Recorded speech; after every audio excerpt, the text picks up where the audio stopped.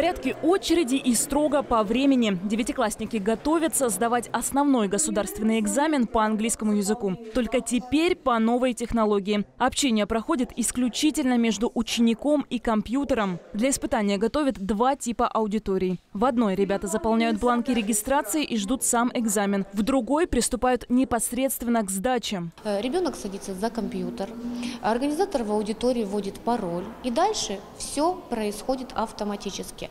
Ребенок, э, прослушав задание, прочитав задание, э, нажимает э, кнопку «Далее» и сам уже регламентирует свой экзамен. В аудиторию заходят строго по 4 человека. Произношение ученики записывают при помощи гарнитуры на компьютер. На всю работу дается 15 минут. Конце экзамена ученики могут прослушать свои ответы. Я думаю, проще сдавать на компьютер, потому что легче, несмотря на человека. Смотрите на человека, думаете, что же он обо мне думает, и очень сильно волнуетесь.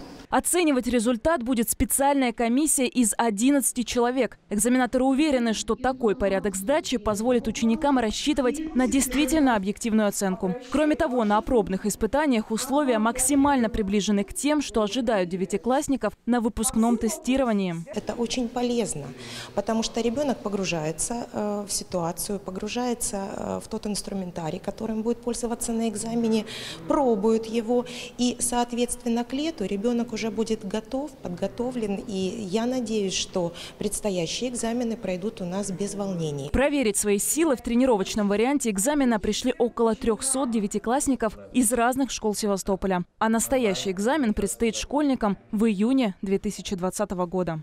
Алина Пчелинцева, Дмитрий Лилека, Севинформбюро.